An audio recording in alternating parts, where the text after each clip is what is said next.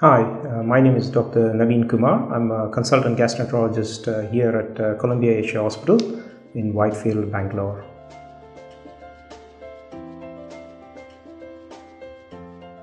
To help with your GERD symptoms, one must exercise regularly, avoid excessive food in one go by splitting your meals into smaller portions, avoiding high fat diet, excessive drinking, especially uh, at night, and also avoiding smoking. Reducing your weight also helps with your GERD symptoms.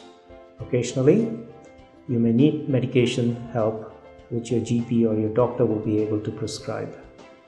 At night time, try to sleep with the bed elevated by about 6 inch by placing wood blocks or brick blocks under the head end of the bed. This generally reduces your nighttime symptoms.